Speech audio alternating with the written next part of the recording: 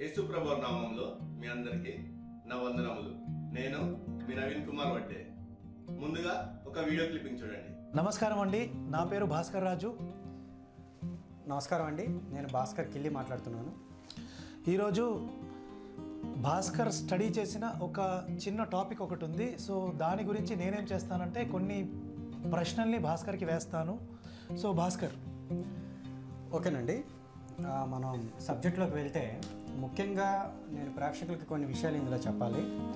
మన గత ఆ, వీడియోల కొంచెం ఎంటర్టైన్మెంట్గా ఇది ఉంటుంది అని ఆ దృష్టితో చూడొద్దు. ఎందుకు అంటే ఇది కంప్లీట్గా కూడాను సబ్జెక్ట్ రిలేటెడ్ వీడియో. తర్వాత చాలా ఇన్ఫర్మేషన్ మనం ఇందులో ఇస్తున్నాం కనుక ఇది సీరియస్గా మనం చూడాల్సిన విషయం.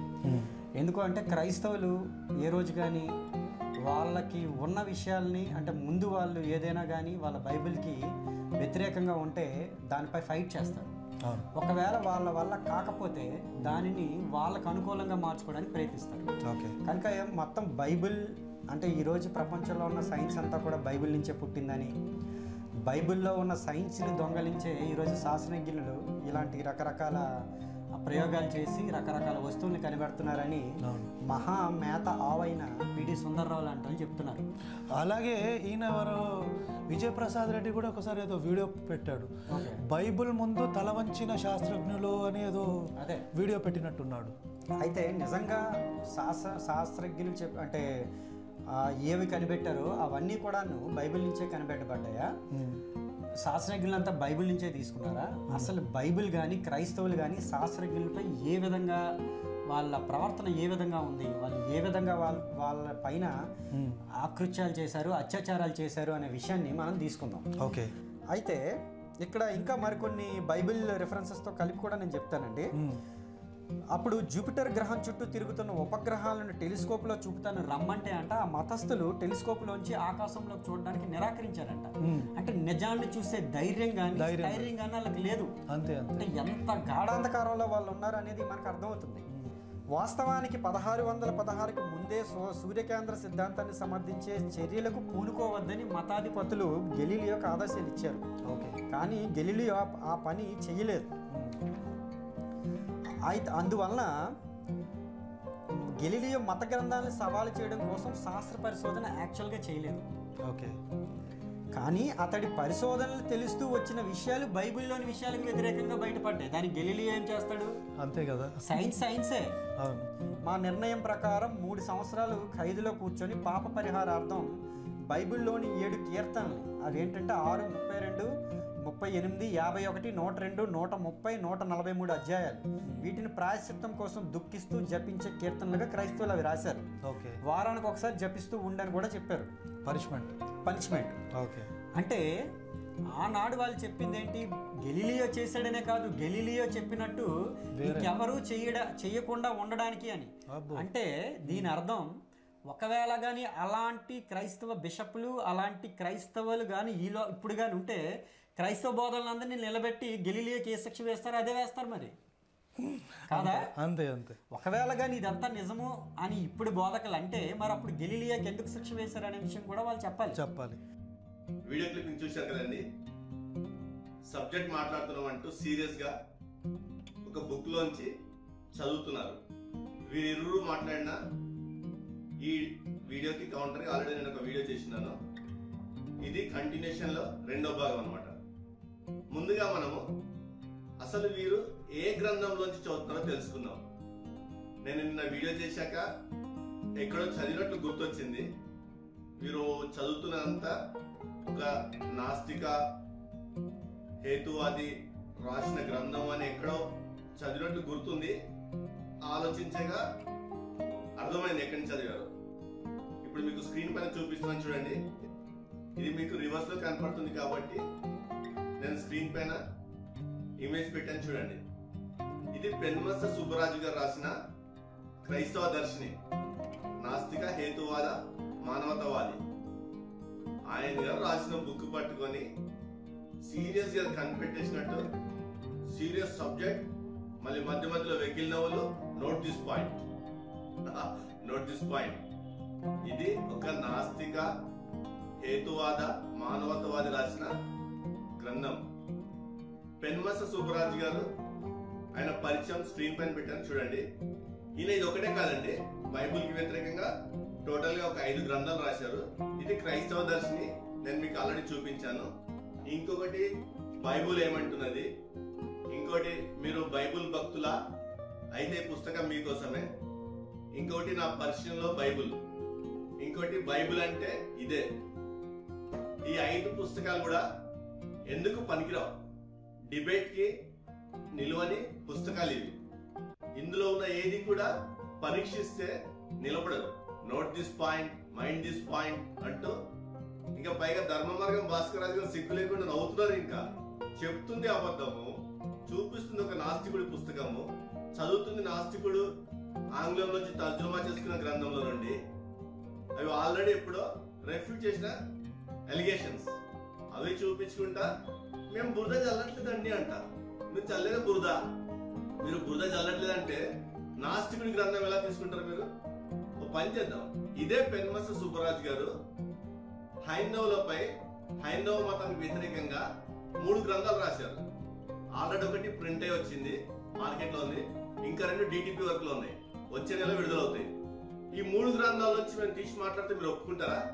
అంటే అతని యొక్క గ్రంథం నుంచి తీసి బైబిల్కి వ్యతిరేకంగా మాట్లాడారు కాబట్టి అతను హైందవులకు హైందవ మతానికి వ్యతిరేకంగా మాట్లాడింది కూడా మీరు ప్రామాణికంగా తీసుకోవాలి అంగీకరించాలి. ఎందుకంటే మీరు ఇప్పుడు అతను అంగీకరించారు కదా బైబిల్కి విరుద్ధంగా.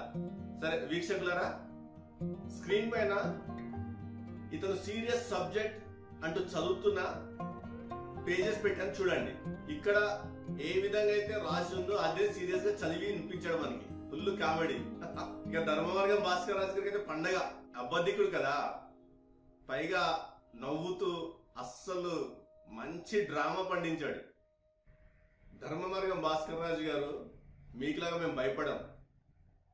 భయపడే వాళ్ళం అయితే ఇన్ని పుస్తకాలు అతను బైబిల్కి వ్యతిరేకంగా రాశాడని చూపించేవాడే కాదు.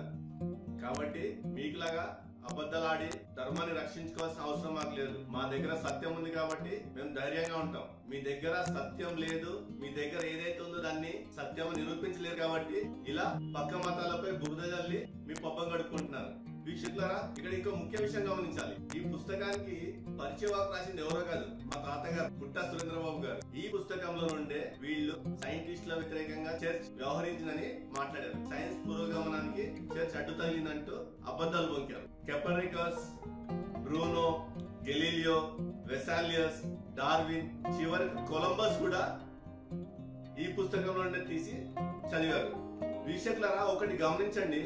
ఈ గ్రంథంలో ఎక్కడ కూడా నేను ఈ విషయాన్ని పలానా దగ్గర నుంచి తీసుకొని చెప్తున్నానని reference రాయబడలేదు.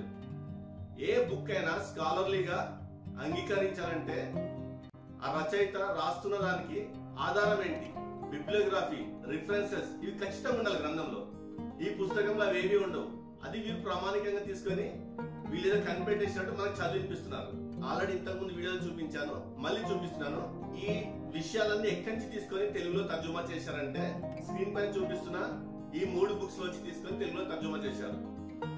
John William Draper and Andrew Dickson White గారు రచించిన గ్రంథాల నుంచి తీసుకొని తెలుగులో తర్జుమా చేశారు. వాస్తవానికి స్క్రీన్ పై చూపిస్తున్న ఈ మూడు గ్రంథాలని కూడా history of the conflict between religion and science a history of the warfare of science with theology in Christendom volume one volume two ఈ మూడు బుక్స్ కూడా మిత్ అని కొట్టివేయబడ్డాయి. స్కాలర్స్ ద్వారా ఇవి కొట్టివేయబడ్డాయి. అంటే ఇవి అబద్ధం అని నిరూపించబడ్డాయి. కానీ జ్ఞానం లేని వారు ఇలాంటి గుహనా మేధావులు మరలా అవే తీసుకొని చదువుతా ఉంటారు. ఎందుకంటే వీళ్ళకి కావాల్సింది బురద జలటం. సత్యాన్ని స్థాపించడం కాదు. అది మనం గమనించాలా. వీళ్ళ ధర్మాన్ని కాపాడుకోవడానికి ఇతర ధర్మాలపై బురద జల్లితే కానీ కాపాడుకోలేరు కాబట్టి ఇలాంటి పనులు చేస్తూ ఉంటారు. అలాగే స్క్రీన్ పైన ఈ మూడు బుక్స్ని రిఫ్యూట్ చేస్తూ స్కాలర్స్ రాసిన బుక్స్ పెట్టని చూడండి. గాడ్స్ ఫిలాసఫర్స్ అని the foundation of modern science in the middle age అని ద సోల్ ఆఫ్ సైన్స్ ఈ మూడు బుక్స్ చదివితే మీకు ఇట్టే అర్థమవుతుంది. John William Draper and Andrew Dickson White గారు ఎంత అబద్ధంగా అసత్యాన్ని ప్రచురించారు వారి సాహిత్యంలో. ఇక ఈ వీడియోలో వీక్షకులారా గెలీలియో గురించి వీరు చెప్పింది ఎంత అబద్ధమో చూపిస్తా చూడండి. గలీలియో మాటల్లో గలీలియో ఏం రాస్తుందో చూద్దాం మనం. స్క్రీన్ పైన collected works of Galileo Galilei అనే బుక్లో ఈ విధంగా ఉంటుంది. పై అధికారి రాస్తూ ఈ విధంగా రాస్తున్నాడు. Academic philosophers stirred up against me no small number of professors జాగ్రత్త వినండి. చర్చ్ గలీలోకి వ్యతిరేకంగా మాట్లాడలేదు. అలాగే ఏమని రాస్తున్నా అంటే వాళ్ళు ఎందుకు వ్యతిరేకంగా మాట్లాడారంటే possibly because they are disturb by the known truth of other propositions of mind which differ from those common held ఆ సమయంలో అందరూ కామన్గా విశ్వసించడానికి వ్యతిరేకంగా నాది ఉంది కాబట్టి అందరూ డిస్టర్బ్ అయి ఉన్నారు. నాకు వ్యతిరేకంగా మాట్లాడుతున్నారని చెప్పి లెటర్ రాస్తున్నాడు. ఎక్కడ కూడా చర్చ్ వ్యతిరేకంగా ఉన్నట్లు రాయట్లేదు. అలాగే గలీలి ఎప్పుడు కూడా లేఖనాలు తప్పు అని చెప్పలేదు. అతను ఏమని రాస్తున్నాడు అంటే whenever its true meaning is understood లేఖనము తప్పు అవ్వదు అని స్పష్టంగా మెన్షన్ చేస్తున్నాడు. వీళ్ళేమో లేఖనాలకు విరుద్ధంగా గలీలో చెప్పాడు కాబట్టి గలీలో మీద చర్చ్ కక్ష కట్టిందని చెప్పేసి అబద్ధ ప్రచారము చేస్తున్నారు. ఆల్రెడీ అబద్ధ ప్రచారం నాస్తిక సాహిత్యం అని చెప్పి చూపించాను మీకు.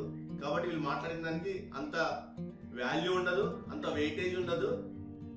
అబద్ధికులని మరొకసారి ప్రూవ్ అయింది అంతే ధర్మ మార్గం భాస్కర్ రాజుకి ఎలాగో సిగ్గు శరం ఏమీ లేదు.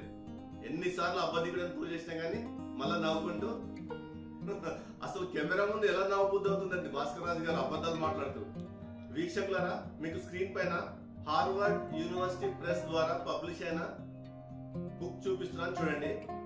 Galileo goes to jail title book title పేరు. ఇందులో స్పష్టంగా చర్చ్ గలీలియోని ఎప్పుడు కూడా టార్చర్ చేయలేదు. గలీలియోను ఒక్క రోజు కంటే ఎక్కువ కూడా బంధించి ఉంచలేదు ప్రిజన్లో.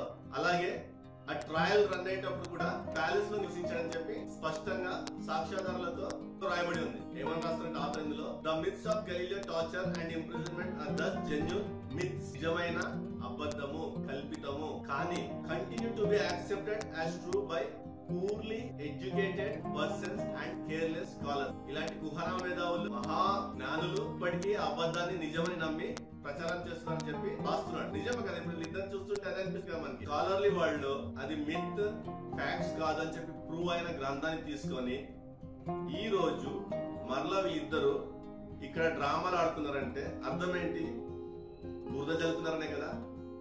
వారి గ్రంథాలలో సత్యం లేదని తెలుసుకొని అందరూ క్రైస్తవ్యం వైపు ఆకర్షితులు అవుతున్నారని చెప్పి ఇలాంటి బురదలే కార్యక్రమాన్ని పెట్టుకున్నారు వీళ్ళు. గలీలియోకి పెన్షన్ కూడా ఇవ్వబడింది. అతని చివరి దశలో అతనికి చర్చ్ ద్వారా పెన్షన్ కూడా ఇవ్వబడింది. వాస్తవానికి గలీలో ఎఫైర్ ఏంటంటే గలీలో ప్రతిపాదించిన సిద్ధాంతాన్ని పూర్తిగా నిరూపించలేకపోయాడు సాక్ష్యాధారాలతో ఎవిడెన్సెస్తో. అప్పుడు చర్చ్ ఏం చెప్పిందంటే దీన్ని ఒక థీరీగా నువ్వు బోధించు. అని పర్మిషన్ ఇచ్చింది. కానీ గలీలే ఏం చేశాడంటే ఆ పర్మిషన్ కాదని అదే నిజం అని చెప్పి బోధించడం మొదలుపెట్టాడు. అప్పుడు చర్చ్ గలీలోని ఆపింది.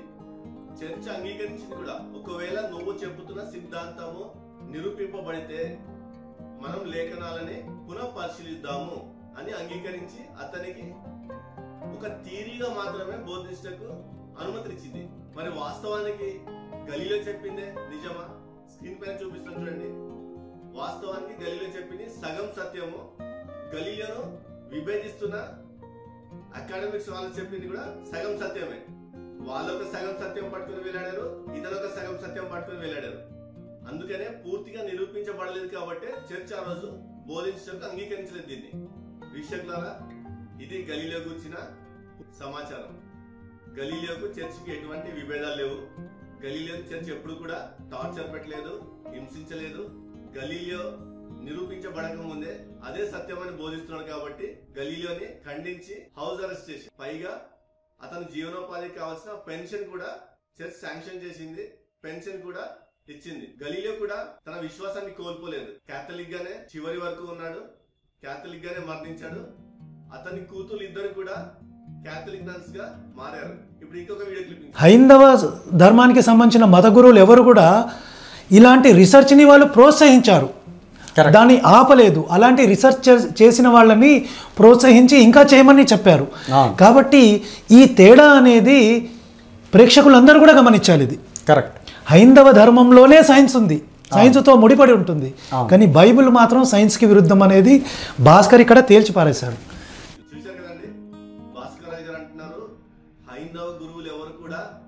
సైన్స్కి వ్యతిరేకం కాదు ఇంకా ప్రోత్సహించారు ఇట్లాంటివన్నీ అని చెప్పారు. అయ్యా నీకెట్లాగో సిగ్గు లేదు అబద్ధాలు చెప్తున్నావు. పోనీ ఒక్క ఎవిడెన్స్ చూపిస్తావా? ఏ మత గురువు సైన్స్ని ప్రోత్సహించాడో?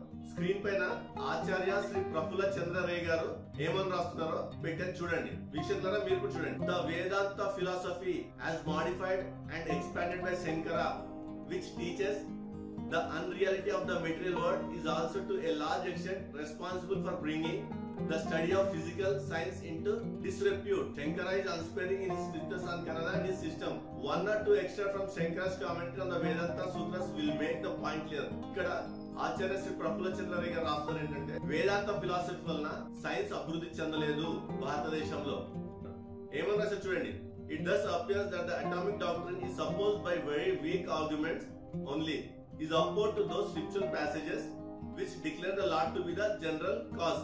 Jagranit is opposed to those scriptural passages which declare the Lord to be the general cause and is not accepted by any of the authorities taking the stand of scripture such as Manu and others. Hence, it is to be altogether disregarded.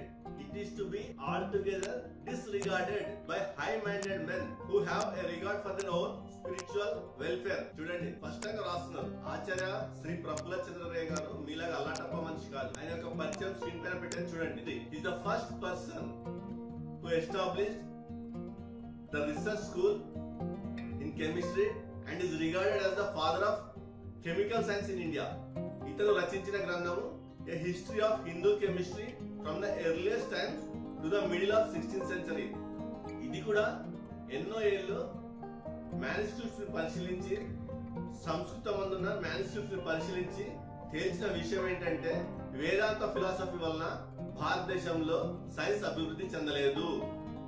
ఇంకేం కావాలండి భాస్కర్ రాజు గారు మీకు సాక్ష్యం? ఈయన క్రైస్తవుడు కాదు. చూడండి ఆ గ్రంథం చదివి తెలుస్తుంది.